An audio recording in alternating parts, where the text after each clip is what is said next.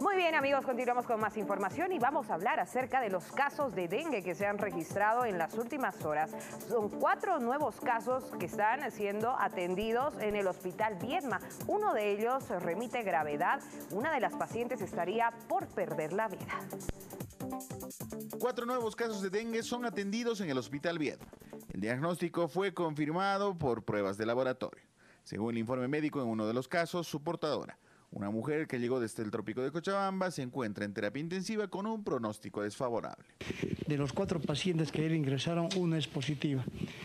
Los tres están con una evolución favorable, menos una que está en muy mal estado, ¿no?